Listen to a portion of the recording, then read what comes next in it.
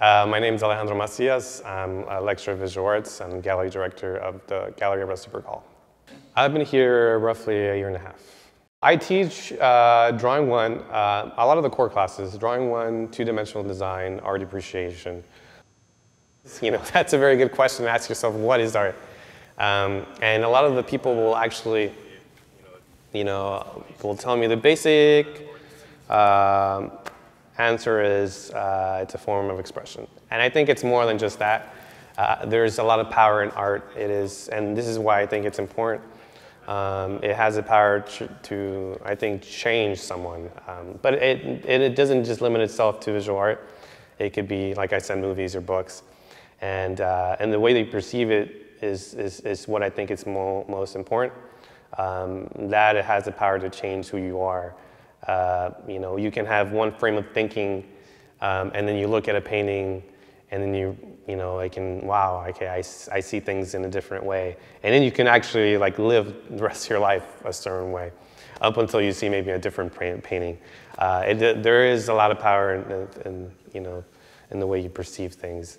Um, but going back to what art is, I think it is a, uh, is a, product of the inner self. I think that's what art is. But you're taking something from within and creating a product, and you're showing that to someone else. You know, I think one of the, the first uh, things that usually come to mind is uh, well, color. But uh, when you walk into a gallery, I think the first thing that I try to do uh, is see the flow of things. You know, see how one painting or work flows onto the other.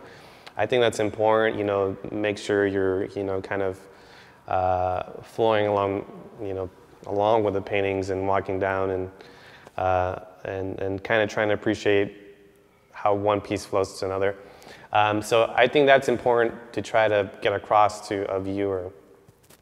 Uh, once I, I, feel like I've done okay with that, uh, I think the first thing you really try to, you know, what, you know, and it's different. I think it's always different for each viewer each each viewer is going to have a preference, uh, you know, a certain favorite color and what have you.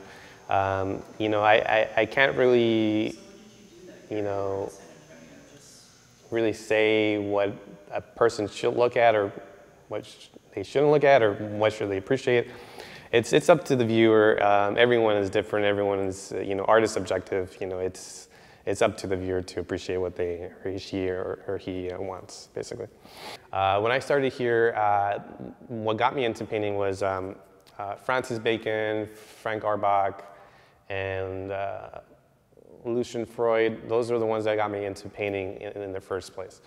Now I've been looking at artists like uh, this, he used to start off as a graffiti artist, but he does mostly painting now on canvas.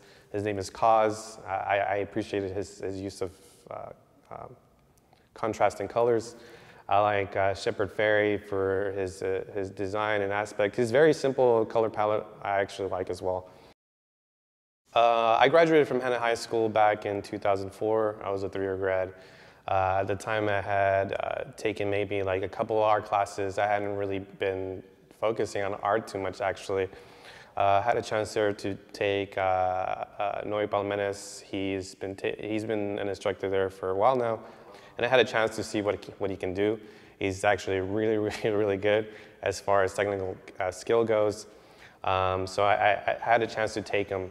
Uh, I got my bachelor's here. I'm UTB alumni. I graduated in 2008. And uh, I got my MFA from UTPA 2012. I've been, well, I've been drawing my whole life. Um, but I, start, I didn't start taking it seriously until uh, I was here like a freshman or sophomore here. And then that's when I, I figured, okay, well, I can do more with it than just, you know, as a hobby. Um, and so I, when I started taking it seriously, I, I, I put it 110% into it.